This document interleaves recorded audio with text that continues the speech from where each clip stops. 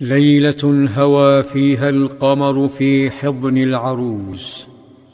سجى الليل في الطريق إلى خيبر وانتثرت نجومه ففاضت مشاعر أحد المسافرين فحرك راحلته نحو عامر بن الأكوع عم سلمة وكان عامر شاعرا عذب الصوت فطلب منه التغني بأبيات تزيد من جمال الليل وبريق نجومه وقال يا عامر ألا تسمعنا من هنيهاتك؟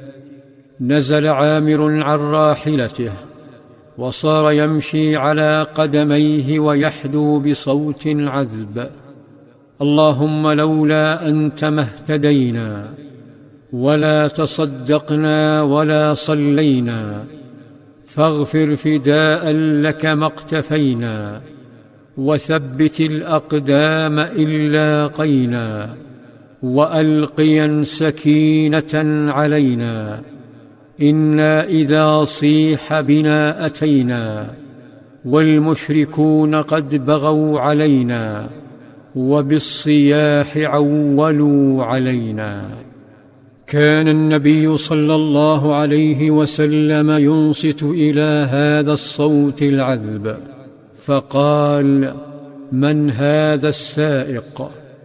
قالوا عامر. قال صلى الله عليه وسلم غفر لك ربك انتفض قلب سلمة بن الأكوع انتفض من تلك الدعوة. وأيقن برحيل عمه وقرب أجله. فسلمة يقول ما استغفر رسول الله لإنسان يخصه إلا استشهد. سمع عمر استغفار النبي صلى الله عليه وسلم فاهتزت مشاعر الشوق إلى عامر وهو حي.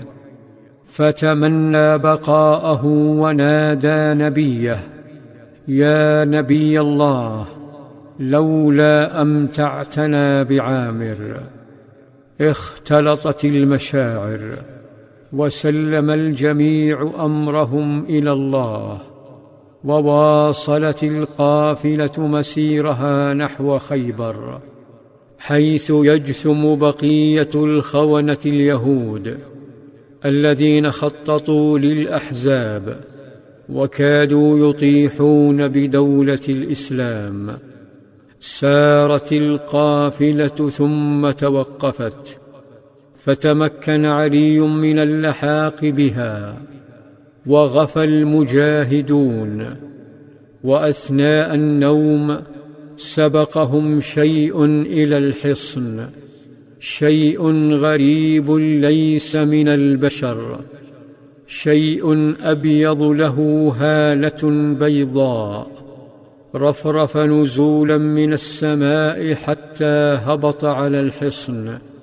في ليلة اجتمع فيها الحاخامات وتلوا الصلوات وأجروا طقوس الزفاف لأميرة من الأميرات. وبعد الاحتفال غفت الأميرة العروس فرأت في منامها رؤيا أخافتها. رأت القمر يهبط من السماء حتى استقر في حجرها.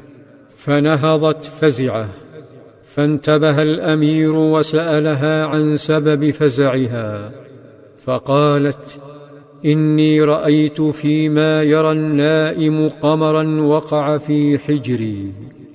لم يتردد الأمير في تفسير الرؤيا على الطريقة اليهودية. فسرها بلكمة على ذلك الوجه الجميل. حتى أحدث هالة خضراء حول عينها. ترى من هذه الأميرة؟ ومن هو زوجها الملاكم هذا؟ وما تفسيره لهذه الرؤيا؟